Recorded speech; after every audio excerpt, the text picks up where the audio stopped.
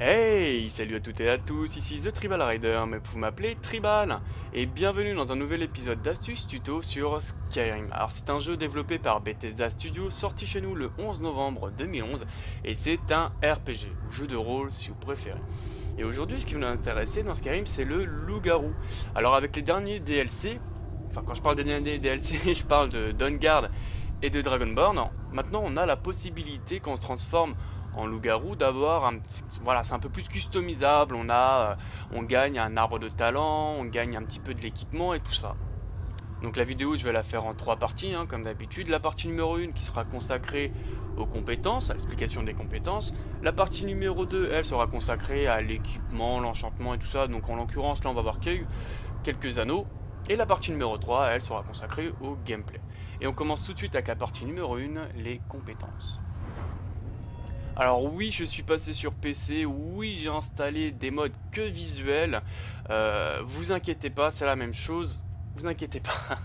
Mais je trouve ça un peu plus joli. Ça se présente comme ça, euh, l'arbre de compétences. Vous avez 11 points à, à mettre dedans. Comment évoluer ça? C'est marqué ici. De nouveaux atouts sont disponibles. Après s'être nourri sur, euh, sur assez de cadavres, chaque nouvel atout nécessite de se nourrir encore plusieurs fois.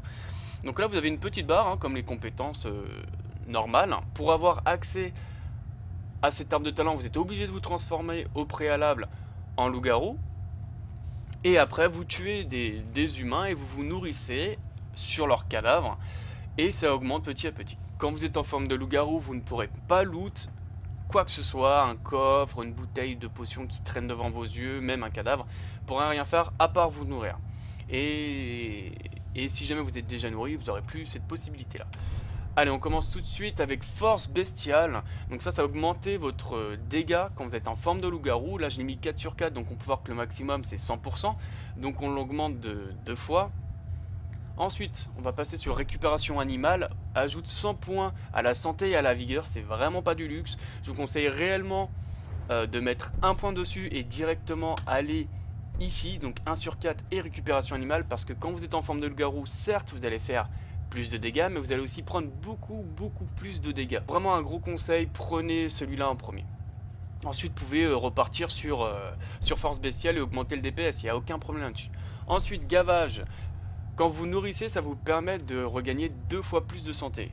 Parce que quand vous allez vous nourrir en forme de loup-garou, vous allez d'une augmenter vos compétences en loup-garou et en même temps vous allez pouvoir vous guérir. C'est la seule façon de pouvoir vous guérir parce que normalement, on verra ça dans la partie numéro 2, vous ne récupérez pas de santé en forme de loup-garou. Ensuite, repas sauvage. Maintenant, vous avez la possibilité de vous nourrir sur des créatures mortes. Avant, on avait la possibilité de se nourrir que sur des humains, que ce soit des voleurs, des bandits, etc. Il n'y a pas de problème, mais que des humains. Maintenant, on a la possibilité de se nourrir sur des créatures mortes. Pas sur les drogues, malheureusement, mais sur les araignées, euh, les loups, les smidolons, etc., etc. Ensuite, on a ce qu'on appelle des totems. Donc là, on a le totem de la terreur, le totem de la fraternité et le totem de chasse. attendez. Hop, totem de la terreur. Quand vous allez utiliser le cri hurlement horrifiant, ça va pouvoir euh, affecter des créatures de niveau encore plus élevé. Quand vous êtes à haut level, comme je suis moi, hein, level 81, euh, vous allez voir que vous allez être assez limité. C'est comme l'illusion, malheureusement. Mais ça va vous permettre de, voilà, de faire peur et donc de faire fuir euh, des ennemis comme des bandits, etc., etc. Après, regardez par rapport à votre niveau qui a peur de vous et qui n'a pas peur de vous. Ensuite, on passe au totem de prédateur, donc le totem de chasse. Donc là, ça va vous permettre euh, d'indiquer si la cible est passive, alertée ou mode ou en combat actif. Donc ça c'est comme si vous allez utiliser euh, le cri de dragon aura de perception, ça va faire une aura rouge alors là, vous avez plusieurs couleurs. Bleu, ça veut dire qu'il est passif, qu'il vous a pas encore repéré. Blanc, ça veut dire qu'il a été alerté de votre présence. Et quand il devient rouge, ça veut dire qu'il est en combat actif, donc il va venir vous attaquer. On verra ça dans la partie numéro 3, vous allez tout voir. Euh, là, c'est juste des explications. Ensuite, vous avez le totem de fraternité. Donc quand vous allez activer totem des frères de glace, vous allez appeler, quand vous allez utiliser le cri, deux loups de glace qui vont pouvoir se défendre à vos côtés. Et quand vous allez utiliser le totem de la lune, vous allez pouvoir euh, appeler deux loups-garous pour pouvoir vous aider. Donc, quand vous allez activer celui-là, les loups-garous de glace vont se faire remplacer par les loups-garous. Donc, deux loups-garous. Après, ça dépend si vous voulez garder les loups de, glace ou les loups-garous. Personnellement, les loups-garous font beaucoup plus de dégâts, donc je vous le conseille. Et ben voilà ce qui était pour la partie numéro 1, les compétences. Vous allez voir, hein, ça va être très très court. Allez, on commence tout de suite la partie numéro 2, l'équipement. Alors avant d'aller à l'équipement, dans le DLC Dragonborn, vous allez avoir ce qu'on appelle Solstein. Pour aller à Solstein, vous devez au préalable aller à Vendôme. Au niveau des quais, vous allez avoir un... Si vous voulez faire la traversée, je, voyez ça avec le capitaine Je crois que c'est lui, hein qui va vous donner l'opportunité d'aller à Scholstein. Donc, quand vous avez le DLC, excusez-moi, oula, je suis pas encore très bien habitué au PC. Quand vous allez acheter le DLC Dragonborn, vous allez avoir cette petite, euh, cette petite flèche. Une fois que vous aurez fait euh, la navigation avec lui, hein. d'abord il faut lui parler, vous allez avoir une petite cinématique tout joli, tout, tout beau, et voilà. Une fois que vous, êtes arrivé à Scholstein, vous allez avoir quelques petits dialogues, etc., etc. Et surtout, vous allez avoir accès à une plus grande carte. On peut voir la carte ici. Donc là, on est à Corberock, la ville à peu près principale du DLC. Et ce qui nous intéresse pour avoir les bagues, c'est d'aller à Éperon Givre Lune. Donc vous voyez, hein, ici on est là, il faut juste aller là, et c'est bon. Alors pour vous repérer, euh, voilà, j'essaie de vous faire voir un petit peu ce qu'il y a à côté. Mettez pause hein, si jamais je vais un peu trop vite. Mais en tout cas, ce qu'il faut euh, se souvenir, c'est que voilà, vous avez un petit creux ici, là, pour passer. Hop Donc je vous... Bah, qu'est-ce que... Non, bon, bref. Voilà. Donc ça fait un espèce de Y. Euh, voilà, du coup, j'aimerais bien enlever ce que j'ai mis là. Merci. Une fois que vous allez arriver ici, si jamais vous n'êtes pas en forme de loup-garou, enfin, enfin, quand vous n'êtes pas affecté par la malédiction du loup-garou, ils vont vouloir vous attaquer. Ils vont vous dire reculer, euh, et si vous ne reculez pas, ils vont vous attaquer, vous allez devoir les tuer, et donc vous allez perdre quelques précieux anneaux. Donc une fois que vous êtes en loup-garou, allez parler directement hmm. à Magini, ici. Donc si vous allez parler aux autres PNJ, ils vont vous dire d'aller le voir. Mhm. Vous allez le parler, il va vous dire vous êtes comme nous, des loups-garous, blablabla, bla, et vous allez avoir la possibilité d'acheter différents anneaux. Salutations. Voilà. Qu'est-ce que vous avez avant vous-même. Personnellement, je l'ai tout acheté. Bon, il les a récupérés, mais bon. Alors, au niveau des anneaux, hein, c'est vraiment que ça qu'on va avoir. Vous avez quatre anneaux. L'anneau d'instinct, anneau de chasse, anneau lunaire et anneau sanguinaire. L'anneau d'instinct, quand vous êtes en forme bestiale, quand vous allez juste vous transformer en forme bestiale, le temps va ralentir pendant 20 secondes. C'est sympa, mais sans plus. Ensuite, on a l'anneau lunaire. La durée de vos hurlements vont durer de 25% supplémentaire. Un cri en général, que ce soit le cri des invocations, le cri euh, de terreur, le cri pour savoir un petit peu l'aura des, PNJ, ça dure 30 secondes. 25%, c'est euh, alors 50% de 30 secondes c'est 15, 15 divisé par 2 c'est 7,5 donc c'est 37 secondes, 5. C'est bien mais sans plus. Et ensuite vous avez l'anneau sanguinaire, sous forme bestiale vos attaques infligent 50% de plus mais on va subir 50% en plus de dégâts. Donc quand vous êtes en loup-garou vous allez prendre beaucoup de dégâts et là, vous allez encore prendre encore plus de dégâts. Donc ça va faire plus de dégâts. Vous allez faire beaucoup plus de dégâts, mais vous allez aussi en recevoir beaucoup plus. Après, c'est à vous de voir comment vous négociez euh, votre loup-garou. Et pour finir, on a l'anneau de chasse. Alors l'anneau de chasse, ça va vous permettre de pouvoir régénérer votre vie, votre santé, quand vous êtes en forme bestiale. Avant, on n'avait pas... Euh, on ne pouvait pas récupérer notre vie euh, c'est-à-dire qu'on voilà, qu'on avait pris des attaques, notre vie se régénérerait pas, à part si on allait manger euh, sur des différents cadavres ou créatures. Maintenant, on va pouvoir euh, se régénérer. Donc c'est vraiment l'anneau que je vous conseille de faire. Donc quand vous êtes en forme bestiale, hein, la forme normale pour se transformer en loup-garou, ça dure 2 minutes 30. Vous pouvez vous transformer qu'une seule fois par jour. Plus vous allez tuer des ennemis et surtout vous nourrir, et plus ça va durer longtemps au niveau de la transformation. Alors par contre, j'ai essayé de chercher sur internet, j'ai pas trouvé savoir si ça a rajouté tant de secondes, 10 secondes, 30 secondes, je sais pas. Ou si tout simplement ça a réinitialisé les 2 minutes 30 de forme, je ne sais pas du tout. En tout cas, une fois que les 2 minutes 30 sont passées et que vous n'avez pas mangé de, cadavres, vous allez vous retransformer, mais par contre vous allez vous retransformer à poil. Mais vraiment à poil, sans équipement, etc. Donc vous allez devoir vous rééquiper. Ne vous inquiétez pas, vous avez juste à appuyer sur Tab et à vous rééquiper, il n'y a pas de problème. Ensuite, une fois que vous êtes retransformé en humain, la forme bestiale doit mettre 24 heures dans le jeu pour se recharger. Alors soit vous avez tué tous les ennemis et vous attendez 20, hop, 24 heures, vous pouvez réutiliser la forme bestiale. Et donc là, vous pouvez la réutiliser. Soit vous allez équiper la bague d'Irsine. Donc ça, vous allez, c'est une quête des drains hein, que vous allez trouver à Hypervine. Aller au cimetière ou aller au baraquement euh, des gardes pour déclencher la quête. Mais ce que je vous conseille, c'est d'aller au cimetière. Vous allez voir un prêtre qui va parler d'un enterrement. Parler au père, de toute manière, à deux personnes. Deux hommes, un mec qui entoche, donc le prêtre, un homme et une femme. Allez parler à l'homme et il va vous lancer la quête. Une fois que vous avez fini la quête, je vous conseille d'aller sur internet pour trouver comment faire la quête, vous allez trouver cette bague, la bague d'Irsim. Donc là on peut voir fournir des transformations supplémentaires au loup-garou. Quand vous allez recevoir la première fois la bague, il va y avoir maudit, c'est-à-dire vous allez pouvoir vous transformer, vous n'allez pas pouvoir gérer ça. Une fois que vous avez fini la quête, on peut gérer ça. Alors, une fois que vous avez, euh, je sais pas, vous êtes transformé en loup-garou, vous avez tué un petit peu de monde, mais voilà, vous retransformez en humain, et il y a encore des ennemis à tuer et vous n'êtes pas assez puissant pour les tuer. Ce que vous pouvez faire, c'est activer la bague d'Irsine, donc là je m'en suis équipé, aller dans magie, aller dans pouvoir, et là vous pouvez pouvoir réactiver la bague d'Irsine. Donc là vous, après vous revenez là, vous lancez le cri comme un cri normal et vous allez pouvoir vous retransformer en loup-garou. Donc voilà, c'est une transformation supplémentaire. Vous n'en avez qu'une en plus, donc en tout vous en avez deux par jour.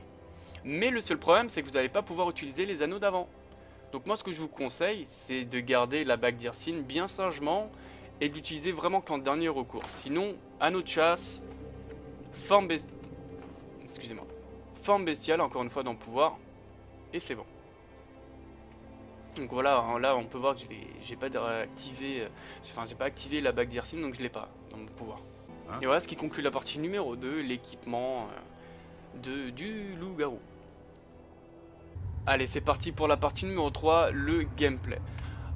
Alors, une fois que vous avez fini la guilde des compagnons, hein, la guilde des guerriers, vous allez, vous avez la possibilité de vous transformer en loup-garou ou soit de vous soigner du loup-garou.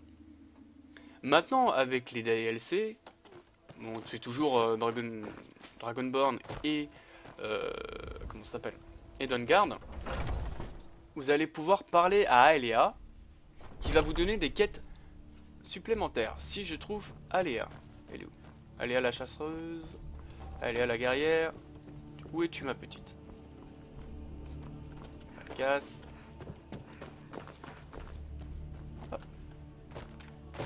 On va aller voir là-bas. Donc soit vous l'avez épousée et elle est dans votre maison, soit vous devez chercher à la guilde des compagnons où est-ce qu'elle pourrait être? Miss euh, s'il te plaît. Pardon. Oui, oui. Ah, on va chercher dans sa chambre. Bah alors Où es-tu, ma petite? Ah, là voilà. Vous êtes quelqu'un d'efficace. Ça me plaît. Alors, soit il y a marqué que puis-je faire ou je cherche du travail? Et elle va vous dire bon moi j'ai vu que j'ai fini toutes ces quêtes elle me le donnera pas. Soit elle va vous donner euh, que puis-je faire ou je cherche du travail ou quoi que ce soit elle va dire en quoi je peux vous aider. Je crois que vous aurez euh, un truc ici en quoi puis-je vous aider. Quand vous allez voir ça cliquez dessus et elle va vous, vous donner mhm. euh, trois différentes quêtes. Donc c'est que de l'aléatoire hein. elle n'est pas obligée de vous les donner l'un derrière l'autre donc si vous voyez que vous n'avez pas cette option là, moi ce que je vous conseille c'est de sortir et re-rentrer. Donc vous allez faire un chargement qui va réinitialiser à chaque fois et vous allez encore aller la voir. Voir si vous avez l'option ou pas. Si vous n'avez pas l'option, vous quittez, enfin vous appuyez sur rond sur PlayStation 3 ou sur tab sur PC, hein, maintenant je le sais.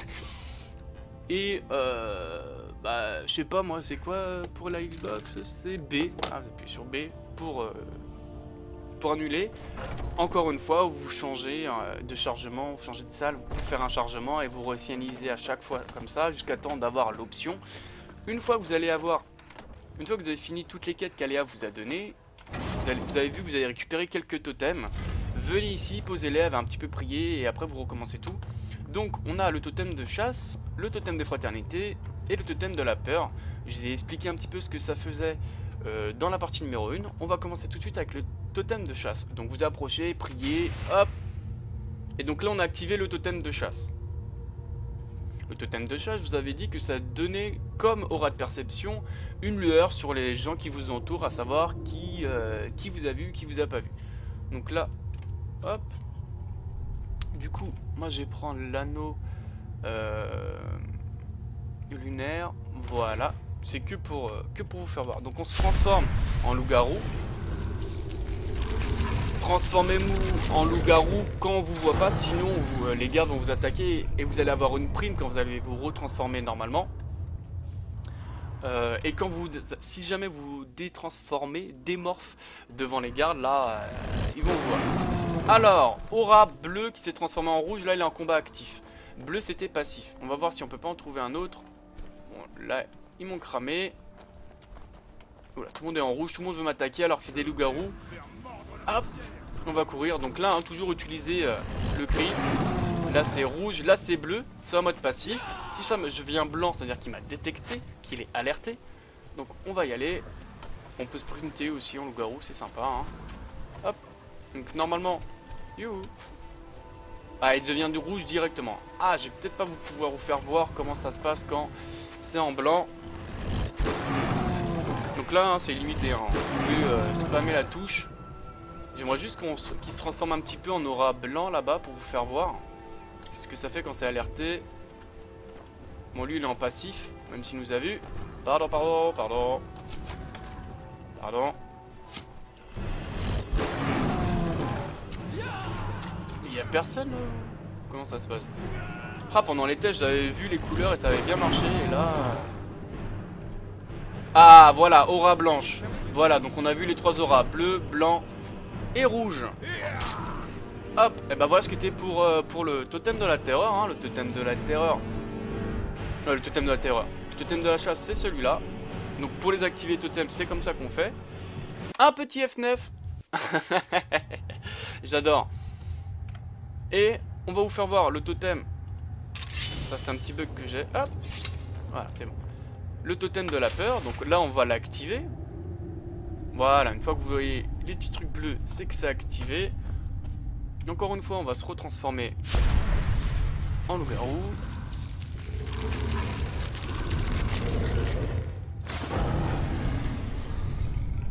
Bon, désolé, hein, Blanche Rive, hein, d'un petit peu tout ce massacre. Mais bon. Donc là, on va, faire, on va leur faire peur. Le problème, c'est que je suis level 80, donc je vais pas pouvoir faire peur à beaucoup de monde. Et là, c'est pareil. Vous allez pouvoir utiliser le cri. Hop, donc là on peut voir qu'il a une petite aura rouge, c'est-à-dire qu'il a peur. Ça marche sur lui. Malheureusement sur les gardes, ça ne marchera pas. Voilà, les gardes de Blanche Rive, trop de puissance pour l'effet euh, hurlement terrifiant. Pourtant j'ai le totem activé. Donc on peut voir aussi que ça marche sur une certaine zone, vu que la, vache est censée avoir peur. Après c'est à vous de voir un petit peu avec, qui vous pouvez euh, faire fuir, donc avoir peur, et avec qui vous ne pouvez pas. Là, Aléa, la guerrière, va vouloir nous attaquer normalement. Viens ici, ma petite. Donc là, les deux, ils ont peur et ils s'enfuient, sauf que les gardes, en ont un petit peu rien à foutre. Donc après, ça marche sur les créatures, différentes créatures, les araignées, les smidolons, euh, les ours, sauf s'ils sont trop puissants. Sur les drogues, ça ne marche pas. Sur tous les drogues, hein, ça ne marche pas. Euh, du drogue simple au, drogue, euh, au tyran drogue, ça ne marche pas. Sur les gardes, bah, malheureusement non, mais sur les, êtres normaux, oui. Voilà, donc 30 secondes, si vous avez l'anneau, 37 secondes, 5. Encore une fois un petit F9. Hop. Et cette fois-ci, on va activer le totem de fraternité.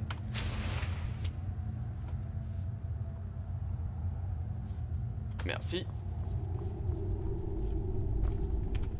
Je vais pas activer directement le cri du loup-garou hein, tout de suite. Alors, premier lieu, je vais voir.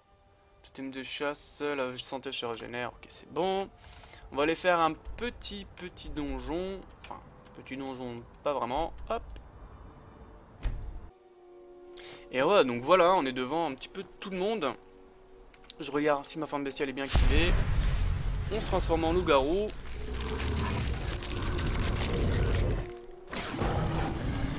Et on appelle nos deux loups-garous qui vont venir nous aider. Donc, qui est bien avec ces deux loups-garous, c'est d'une, que ça augmente notre DPS. Aïe Et en plus, on n'est pas la cible unique de l'attention. Après, vous avez plusieurs coups. les coups normaux, voilà, qui enlèvent quelques points de santé comme on peut le voir, si j'arrive à toucher. Et vous avez les, coups, les coups un peu plus puissants qui vont pouvoir envoyer balader les cibles. Voilà. Comme ceci. Donc je vous conseille réellement de faire ça. Après, vous voyez, vous avez, quand vous les appuyez, ça fait ça. Quand vous chargez une fois, ça envoie un coup qui envoie en l'air les cibles. Après, vous pouvez nous, vous nourrir. Ça, ça augmente votre compétence et ça augmente en même temps le temps.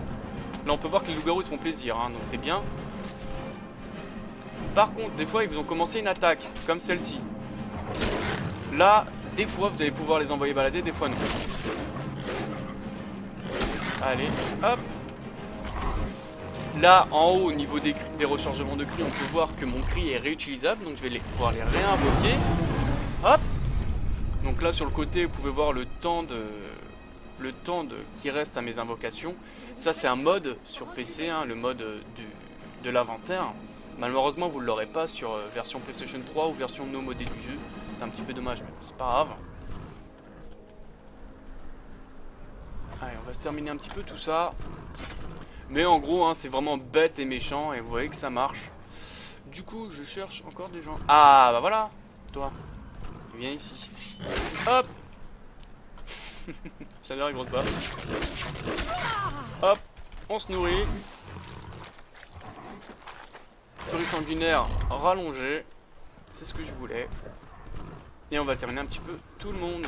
Donc là, hein, les loups-garous, ce qui est bien, c'est que d'une, euh, ils prennent l'attention des gens, donc vous n'allez pas être la cible unique et vous n'allez pas vous faire rocher parce que vous allez prendre beaucoup de dégâts. Et surtout, ils vont tuer des gens, vous allez pouvoir vous nourrir gratos. Et en plus, ils vont rajouter du DPS. Pour moi, c'est vraiment le cri que je conseille. Hein. Vraiment. Alors, il y a qui? Il y a personne qui reste ici? Bon. Allez, venez, venez, on va, on va terminer un petit peu plus... On va terminer un peu plus là-haut. Ouais, j'ai du mal à parler.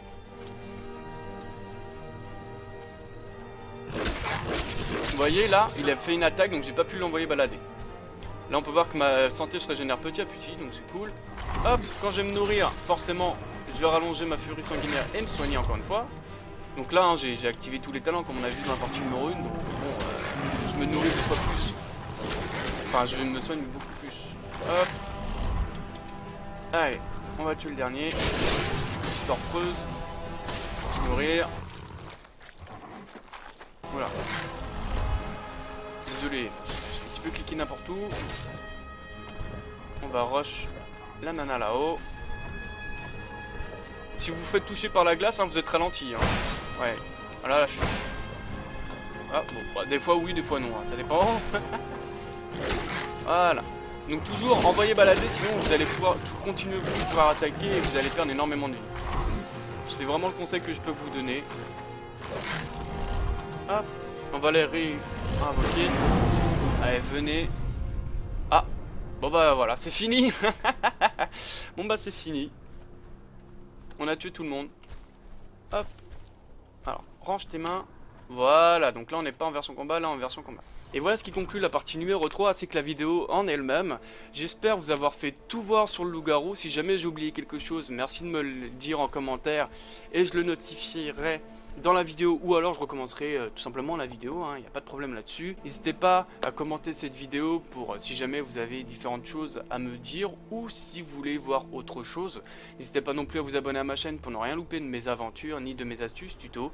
Et je vous dis à la prochaine. Allez, ciao ciao